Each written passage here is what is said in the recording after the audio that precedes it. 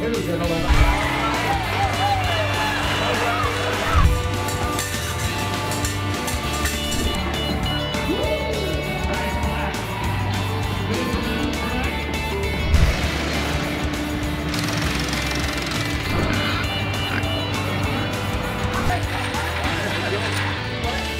Thank you.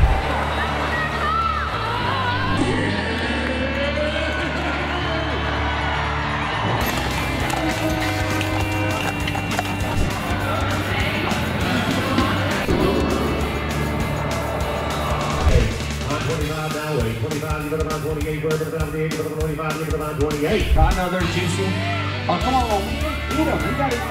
And all these ladies deserve a big round of applause.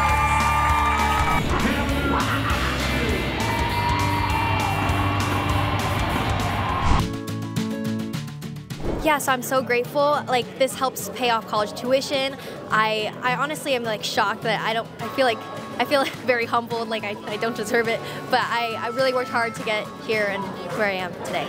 So I visited a bunch of farms and I took a bunch of videos and pictures of all the cows, the chickens, the horses, and I actually got to know a lot of the cowboys and I got to learn their story and I feel like art, just connection to nature really brought me closer to myself.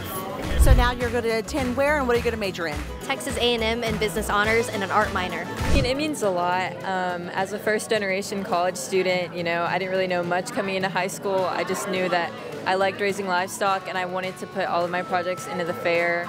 And the fair coming and helping me into this next, chap next chapter of my life really means a lot. Yes, I first started with a pig, and before that, I was raised in the city, so I didn't really know much about this lifestyle. But now I've been raising steers this past year, and I hope to live on a ranch and keep this lifestyle moving into the rest of my life.